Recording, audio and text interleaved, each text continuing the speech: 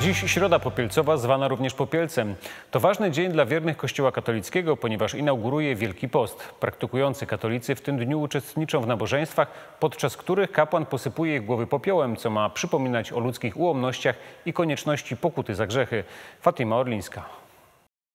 W środę popielcową obowiązuje ścisły post, w czasie którego zaleca się powstrzymywanie od spożywania produktów mięsnych i ograniczenie posiłków do trzech, w tym jednego dosyta. Wstrzemięźliwość ta ma służyć refleksji i stanowić symbol pokuty. To również przygotowanie do najważniejszego święta dla katolików. Za tą przemianą myślenia oczywiście muszą mieć nasze czyny, postawa wobec ludzi i te trzy praktyki Wielkiego Postu, e, czyli właśnie post, modlitwa i jałmużna, one mają nam pomóc w tym, aby zmienić coś w naszej relacji do drugiego człowieka, to jest jałmużna, rozumiana szeroko jako dar e, nie tylko z tego, co mamy, ale dar e, naszego czasu, siebie samego po prostu. Popiół, którym tego dnia kapłani posypują głowy wiernych, pochodzi ze spalonych palm święconych w niedzielę palmową. Choć to gest symboliczny, dla niektórych niesie za sobą duże znaczenie.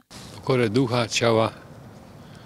No i wiadomo, że jak takie powiedzenie, jak umrzesz, to poprosz się, powstanie z prochu. Jest to symbol przejścia z z sytuacji, która była przedtem, czyli karnawału, radości, do przygotowania do późniejszych okresów, czyli świąt Wielkiej Nocy. Dla mnie to jest wyjątkowy czas. Taki czas spokoju, wyciszenia się.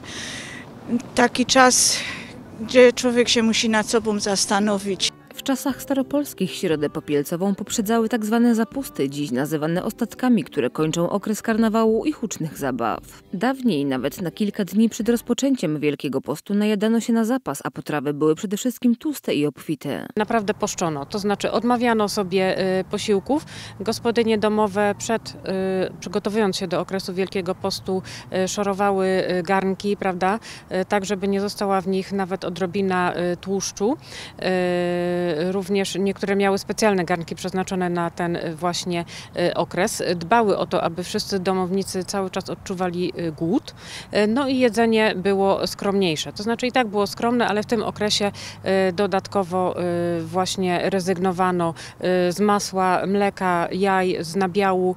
Tutaj wyjątki czyniono jedynie dla dzieci. Ponadto kiedyś w regionie śląskim w czasie Wielkiego Postu kobiety dbały o to, aby ich ubiór był dużo bardziej skromny i w ciemnych, stonowanych kolorach. 40-dniowy post, który rozpoczyna popielec, to okres duchowych przygotowań do Wielkanocy nawiązujący do pobytu Jezusa na pustyni. Nieodłącznym elementem okresu Wielkiego Postu jest w kościele fiolet, symbolizujący ducha pokuty.